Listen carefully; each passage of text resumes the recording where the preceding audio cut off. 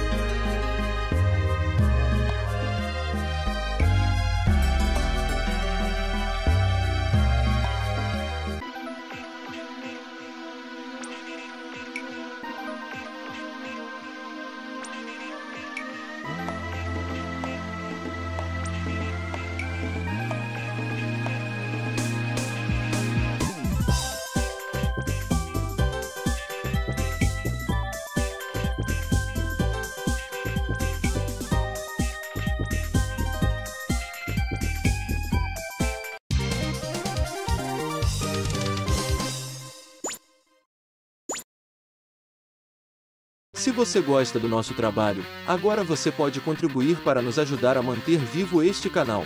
Basta doar o valor que quiser por meio do Pix.